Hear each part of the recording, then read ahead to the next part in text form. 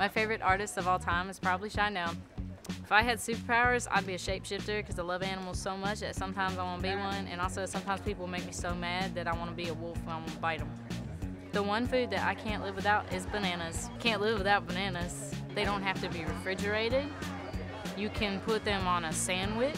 I already play guitar and violin and a little bit of piano, but if I could learn any other instrument, it would either be a sitar or bagpipes. Because, yes, I just love them. I love the sound because they're weird. When I was a little kid, I wanted to be a veterinarian when I grew up. Do I believe in ghosts? Yes, I do because I don't believe that death is the end of a person, and I, am very spiritual. So yes, people have souls, people, people have spirits, so ghosts are real.